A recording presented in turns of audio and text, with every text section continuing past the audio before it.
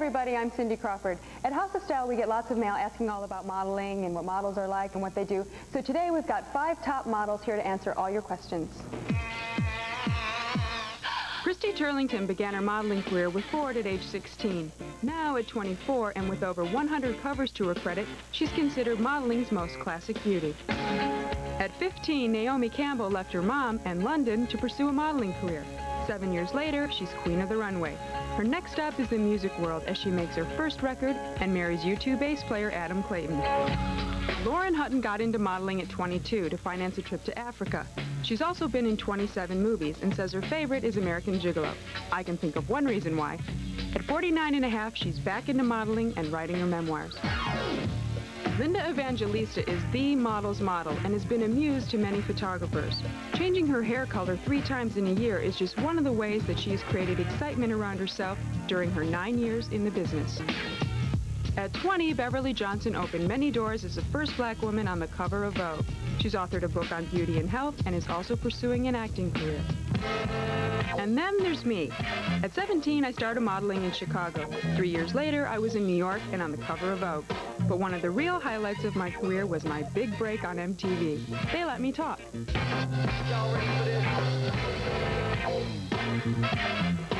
So Lauren, when did you first decide that you wanted to be a model? When I found out that they were making $50 an hour. And Christy, when do you, because you're, you probably remember Lauren growing up, when do you remember first being aware of who Lauren Hutton was? RC Cola. RC Cola? Is that the one where you yeah, fall in the pool? That one. that, I like Pepsi Light. You know why I love Pepsi Light? Lemon. She fell in the pool and she was so, so skinny. she had a killer body. Old days. Yeah.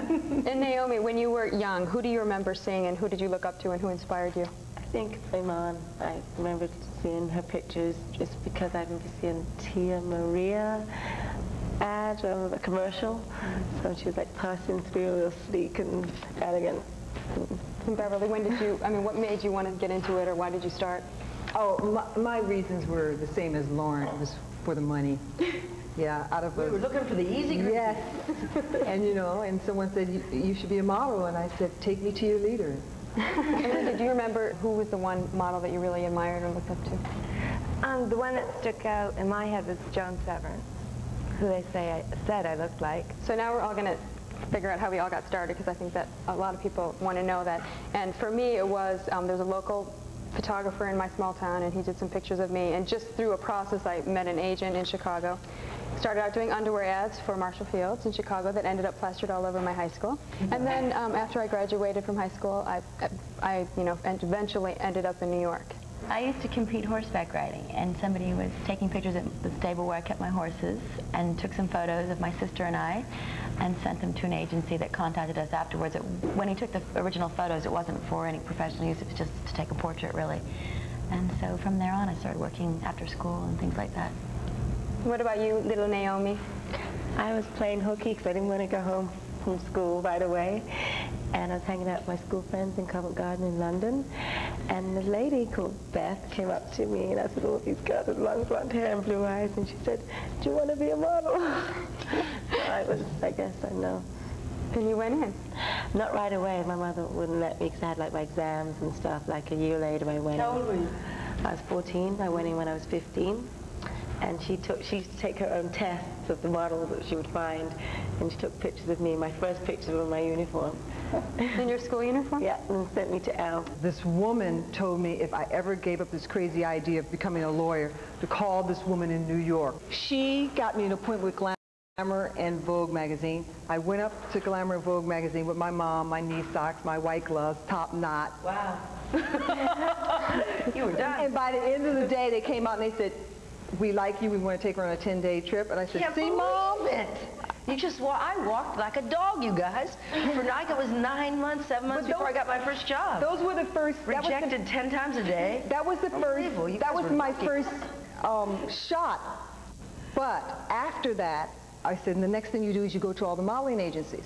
So I went to all the modeling agencies, Eileen Ford, and Wilhelmina and all the big agencies. There was an agency called Black Beauty in that time. Oh, right. And they went, right. eh, nah, right. I don't think so. And at the time, I was too young and stupid to say, well, I just got finished shooting for Glamour and Vogue. Right. I've never heard of such a thing. So they all turned me down, and then, you know, like 10 days later, you know, when the word leaked out, and uh, Eileen and called me And then they back were all in. sorry. Well, how did you get found? Because we haven't heard that yet. I was in a Miss Teen Niagara pageant, and Teen Niagara? Linda's a comedian. and Yay! yeah, good. Niagara Falls. and um, I didn't place, but there was a scout in the audience, for Elite, who brought me his card afterwards, and Didn't you, didn't you do some school thing? I took a course my mom paid for, and um, I did bridal fashion shows where I'd get $20 for the show, including the rehearsals. I never got to be the bride, I was always the bridesmaid. um, and I did some local department store um, advertising for the newspapers. I got $8 an hour. My mother had to take the day off to drive me there and Didn't gas pay for and gas. parking. What did they teach you at this modeling school? You're the first model I've ever, ever met that went to a modeling school. I went to Judy James in London. They teach you Yeah, poses. They teach you poses. They teach you, they teach you poses. Poses. Obviously, you don't have to have gone to school to be a big model, since since most of us here didn't. But do you think do you think it's something that's valuable, or do you think that it's really just a waste of money? Rip-offs. Mine, Yeah, mine also was a self-improvement program, and I actually learned my etiquette. I know how to, you know, set a table properly, how to walk in the door, how to go in and get How in and out of a, door?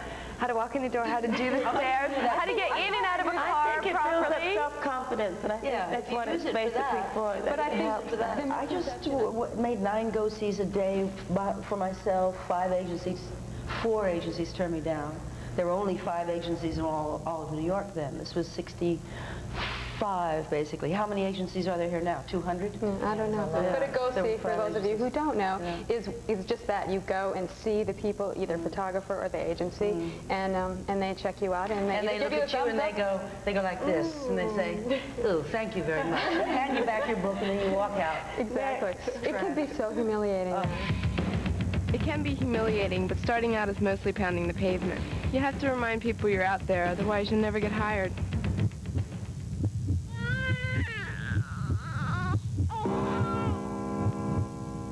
Hi, I'm Dana Douglas, and I'm 16, and I'm a model. Sweet lady 16.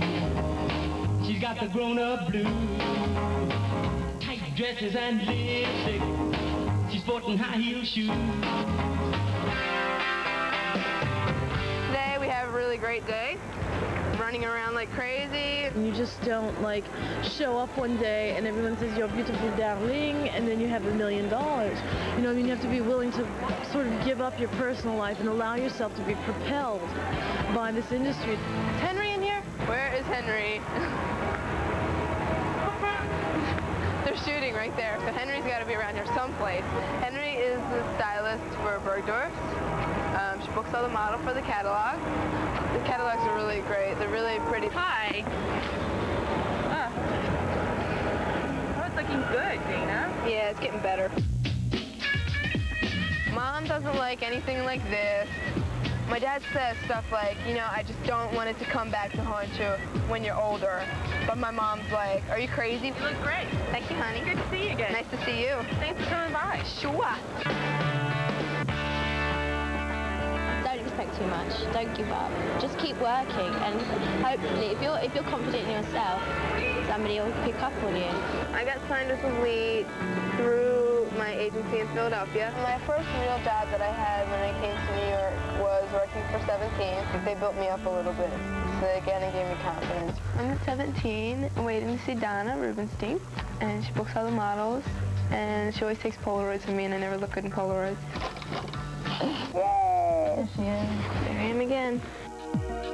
So are you planning on staying in New York now for a while? Yeah, I'm here for a while now. Thank God. The Book looks great. Thank you. Yeah. It's getting there. Oh God, I'm dying. Bye, hon. Bye. I think it's very important that you have a good uh, manners and that you're friendly and that you don't don't freak out if things don't go the way you want them to go. We're going to Clifford and Will's catalog house, and I've never seen them before, so it could be good for me to get in with them because catalog is great, and you make a lot of money when you do catalog, so I'll be paying my bills. So where are you from? Philadelphia, originally. New York now. Are you based out of New York? Yes. No, I haven't. Well, not going to Europe, your book looks pretty good. Thank you. Thank you very much. It was nice to meet you finally. If you just be yourself some, somehow, somewhere, it might fit into the whole fashion groove, or you may change it. Time for me to go home. Gathered my impression of everybody I've met. Now I have to wait and see what their impressions were of me. I hope they were good. Bye. Do you remember when you first started modeling ever being really treated like an object in the sense that they forgot actually that there's like a person inside of the shell? Are you kidding? Of course. Yeah. You know, I've had like people some- say, have it move across the room. Yes. 16 and I did a campaign for a Japanese client and the stylist thought he could come up and touch my, can you say breast? they were doing a picture of me in a steam bath, and um, I said I was hot and I wanted to come out, and they wouldn't let me out, and I passed out finally. what? In a steam bath. Y'all ready for this? particularly sexy at all. Usually my anyway. degrading pictures were I think it's just all imagery. For me, it brought on a lot of insecurity. Y'all ready for this? So Naomi, of all the different types of modeling that you do, because I know you do a lot of runway, print, and uh, commercials also, what was your favorite thing to do? I think I like doing, can I say two things? It, I like doing stuff like performances, like shows are fun because they're live and they're spontaneous and anything can happen. And print, I like doing print when I'm a character and I don't look anything like myself. What about you, Lauren? I don't remember. Too long ago, guys. I, for one, never was a big, a big show fan, and I know. I mean, do you, do you like doing shows? I mean, because you do a lot, and you're very good I, at. I like doing everything, and I'm so glad that there's different things to do, because just doing one, I'll you know, crack up. I always preferred to, to do print because that's what I was best That's at. what you're good at. And what about you, Christy? I, I, I've always said photography because I'm a photography fan, and I feel like it's much more intimate and much, I don't know, it's quieter, it's much, I, I don't know, it, it's, it's nicer, but now that I've been doing a bit more runway, I'm getting used to it, and I do like, I do like when it comes. Linda, when did you know that you had made it in the business? I mean, what was that one picture or that one campaign or that one contract that you got that said, I made it, I'm here? I don't think it was one, you know, specific picture. I think that after about, you know, my fourth or fifth Vogue shooting, it started to You feel more like I was in. No, because for me, it was like, I remember I, my first Vogue cover, it was like, mm. I remember it, August 86, it was pink, that was it. It was like, that's the seal of approval for me. August isn't a big month. August isn't a big month. I know. But I was, my first was August also. That's the only one they give me. I know, August I'm is so this sorry. thin. but yes, I didn't. I, my Vogue covers came much later. not true what people say about her. She really is a very nice girl. you guys. She really My is. Vogue covers came much later. like now. What about you? I'm waiting. Did, did, did you have like one, one thing that was like a moment for you that you felt like that was it? Um, probably when I, I signed a contract with Calvin Klein in 1989. I think that probably, because I think that when I started to get involved in the business, I always thought that they make it seem that contracts are the thing that you want, that everybody wants. It's not necessarily so. Yeah, it's a lot of pressure on you. But you think that that's the case, so I actually ended up making a mistake, and I took one before I should have. But It was a only big because I thought it. business, well, I thought it was, but It was because it everyone was envious. I mean, I'm not. Yeah, everyone was like, well, that's a that's a good setup. It didn't turn out to be something that you were happy with, but still, it was a compliment right, it was get. something that I wasn't expecting for a good five or ten years, and I got it, you know, two or three years. What happens is, like I should explain is sometimes girls take contracts very early and it makes them very exclusive with one company. Therefore, you fade out of the other parts of the business and you end up only doing one client. When I signed Revlon, Wouldn't it be great if your skin could always look like it's been on vacation? It can. because it was the first contract there ever was, Colors, but doesn't overcolor. it was com- uh, an exclusive contract, and I could never, I it was never with anybody again. Yeah, I And it was just too. like, Well, it was around terrible. I was always alone, and it, it wasn't any fun after That's that. the only thing that I did like about show was seeing everybody. Yeah. People like uh, you guys, supermodels, don't exist in real life whatsoever. We've evolved through having the very best of all the, uh, you know, uh, female beauty builders work on us for thousands of hours, so we've evolved our own taste out of that. So in fact, you're created. I think we all feel the pressures of not living up to that expectation. Yeah, when people, you know, meet you on a plane or on the street and they say you look like Linda Evangelista, Yeah. and then you say I am, they're, they're disappointed. I think models are lucky because it's one of the few careers where you don't have to stifle your femininity and sexuality. You get to use it. And I think a lot of women who are career women have to put that part of themselves aside and just, you know, try to be a man. And we don't have to. Naomi, how much do you use your sexuality? I use as much as God's given me, as much as I have, as, as much as I can. I mean, I, I like to think that I'm very feminine, and um, and I try to. I, I don't think I'm particularly sexy at all in any way.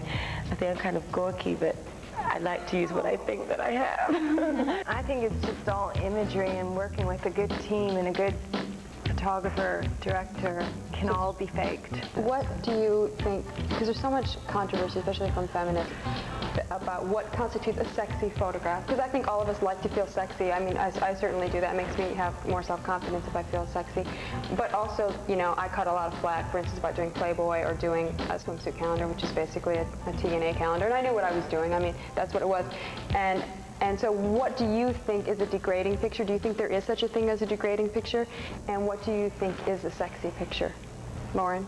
Usually my degrading pictures were just when I was would look particularly ugly or something. I mean, it's a little confusing for me sometimes because, you know, I thought the whole idea of feminism was to be able to say, make your own choices. Exactly. And so for me, the degrading pictures that I've done were the ones that I got, like you said, manipulated into doing. When I was 16 and it was for Elle and they said, just take your top off, it's not a big deal. And all of a sudden it comes out in your school and your parents see it and it's a big deal. Mm-hmm. When you're young and starting out, you're afraid to say no. We do have a choice. We do have a choice. Anyway, we'll be right back to talk about more sexy photos. So don't go away.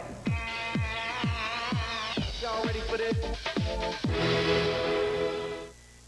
Naomi, we were discussing sexy photos and also um, just doing a job that may seem sexist, uh, that women may criticize you for doing. And I was going to ask you, would you do a job like this? But I know you have. You, like myself, have done Sports Illustrated. Why did you do that? I did it because I think, um, well, Elite wanted me to do it very much, and it was the first time for me doing it.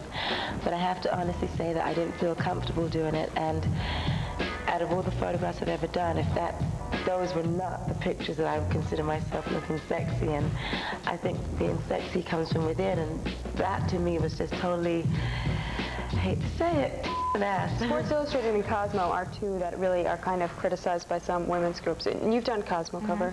Mm-hmm. And why, why would you do that if you know some people consider it to be sexist? I, I don't. I, I think it's funny that people criticize everything. it's, it's ridiculous. I don't do it with anything else. I don't understand why people do it.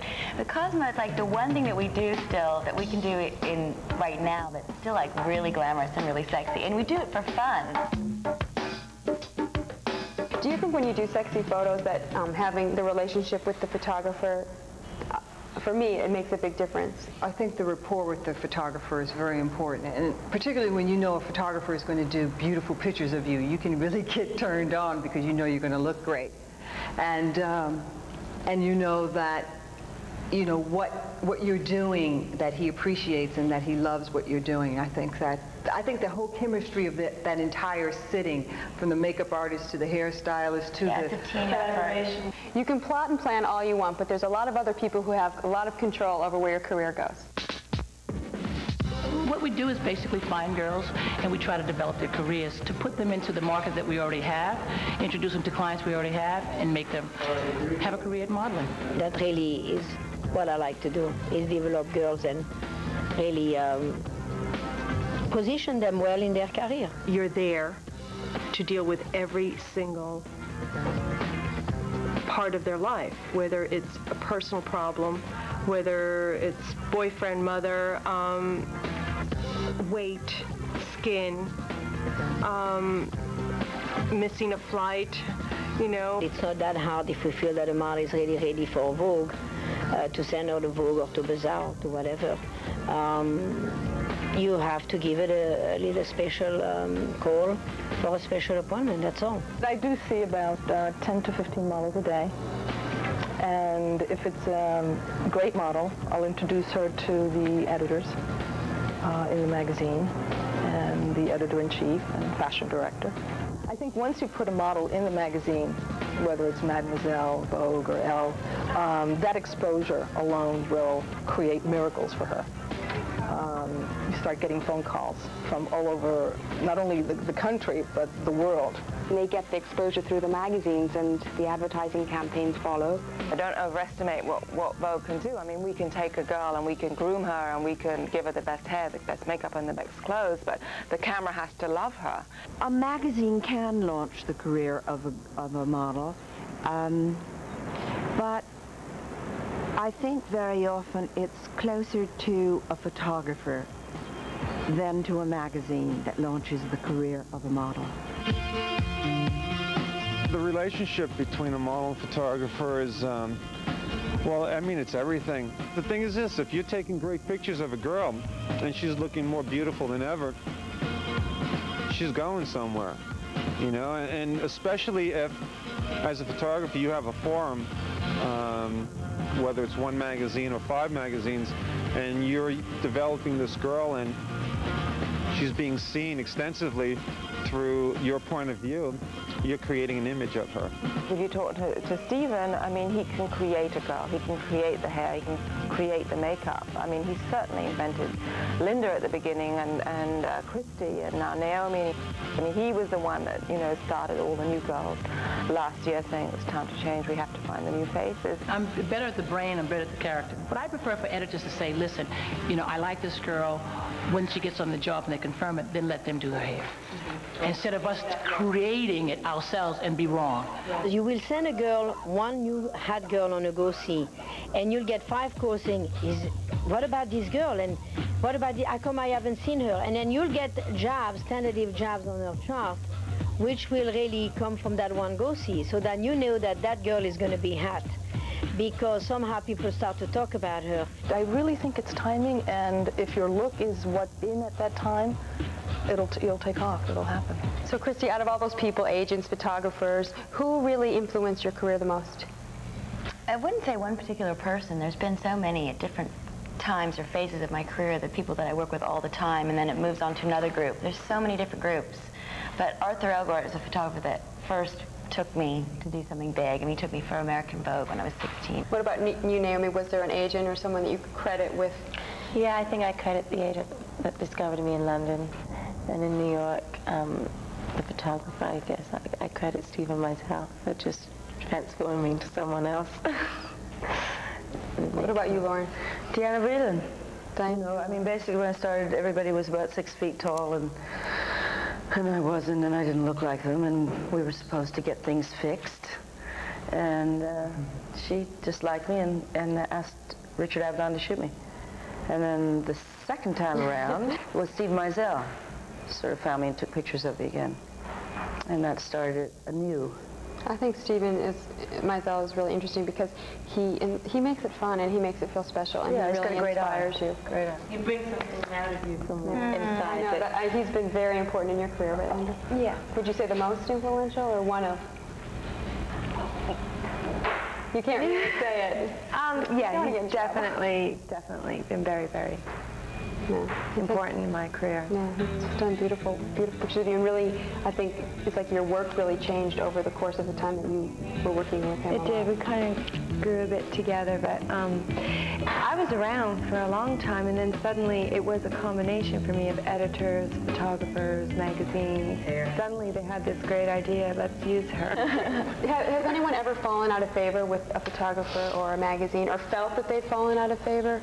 Doesn't everybody go in and out all the time? but, but sometimes it's, sometimes it's in and out of style, and sometimes oh, oh, it's sometimes it's. Well, I, I won't say the name. I don't think it's necessary, but I hate to be told, well, you can't be on the cover of such and such magazine because you were on the cover three years ago, and we just can't have another black model on the cover right now. And I've been told that many, many times, and I, it's been a challenge to me to like work and be I'm determined to break it. But it was very helpful to me, not just for myself, but my whole race. Beverly and Iman, for me, opened many doors, and I wouldn't have been able to do what I do now if it wasn't for you both. Well, the reason why I got that Vogue cover, which was August 1974, another August. August, a thin one, a Yes. bad one. You know, being the first African American on the cover, because I remember I was we were in Avedon studio, and they were sh shooting Lauren Hutton for a cover try, and she came in there, and she says, what are you doing a cover try on me for? Why don't you do it on this beautiful woman? Yeah, I said, look at her. And Polly Mellen. They got the idea. They went, boing, They and did. it was their I idea. could see the light bulbs No, but you kept over there. insisting, insisting. This is pretty crazy. There's something Lauren and I have in common, and you talked about it a little bit before, is that we have flaws that all of a sudden became our trademark. So trademarks. When you started in the business, was there pressure for you to get your teeth changed? I think. Absolutely. When you're young and trying out your womanhood, you're, you're trying to imitate whoever are the standards at the time, but don't eliminate your own special traits because if we had,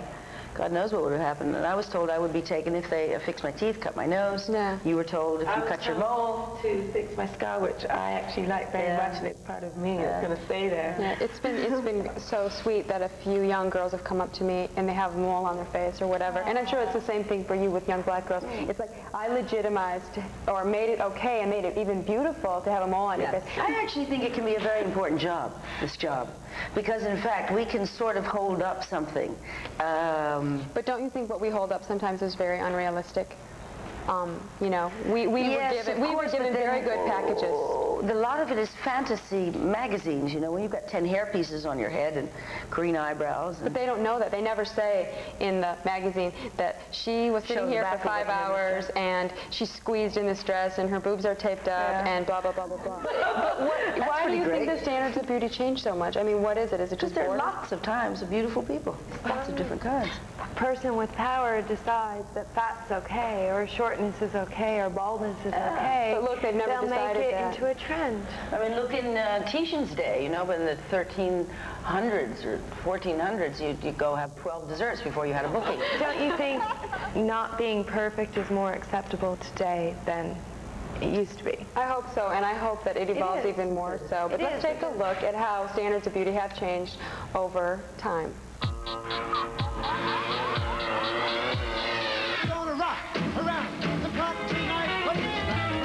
Rocking in Boston.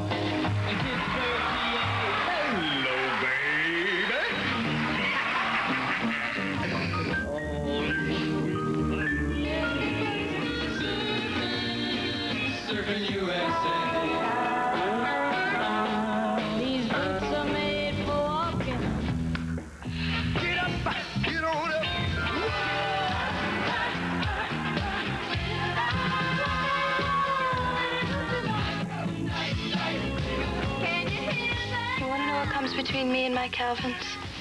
Nothing.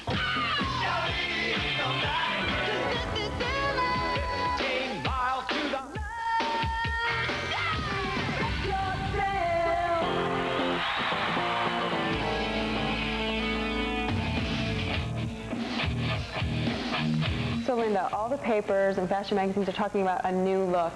How, how, what do you think this new look is? How would you describe it? We call them the waif. evil arch enemy. No, I can't take it because now they're saying they come to me and they say, "But you've lost so much weight." And I mean, I, I fluctuate five pounds up or down, but I'm always the same weight, and they think that I'm thin now because I'm trying to catch up to the these little girls. um, I think they're adorable. I think they go with all these little. Well, they went with the grunge. Grunge is already tired. Now it's that romantic thing. They're working in that, but um, I'm I'm working every day. I don't see you. You're working every day. I mean, So what is the new look? I don't know. They're describing it as the antithesis of what, of kind of what we, are. we are. These young girls, they have like stringy hair, no makeup, kind of this blank expression into the camera. And so what does that mean for us? But what does that mean for us? we can all kind of do that, and then when it passes, like in two months or six months, basically by next season. Well, I'm sure it will. Usually things last about a year. And if that happens, then we'll be able to do, if they go back into the 20s or the 50s or the 40s, I think it's important to have range as a model, and you shouldn't be able to have just one facet. I mean, it, that's why I think that all of us have been around for a long time is because you can do different periods and when they get confused like they always do the powers that be and they they don't know what era to copy or to take from it's important that the, the girls that they're working with can go into each of those areas. Also, I think it's very important to, ha- to do other things and, and to, Yeah, you know, h- get other interests, like Naomi's doing an album and, you know, you the exercise tapes, and you know, when that client stops calling you, you'll know that, you know, you have income coming in somewhere else. that's, what, that's what we hope, that they just, the phones don't cut off all one day, but slowly they gradually No, but I think that we all hope to be able to be to the point that you can make your decision before they make the decision. You know, sort of that you're happy and doing other things, or you can sort of start to feel, I think, when you... Yeah, you sense something. Yeah, but come on, how old are you, Naomi? 22. 22. You're not sensing anything yet. You're, you're, you're, you haven't even started. We're, we're, we're going to be seeing you around. I've for a lot already been around No, I feel like years. you've got on 50. Much longer than I even But you see, expected or if you keep dreamt of. growing as women, in fact, your faces will change. Exactly. And people are interested in seeing what kind of women you turn into. Mm-hmm. They're interested in seeing what kind of woman I turn into. I make much more money now modeling than I did at the height. Y'all ready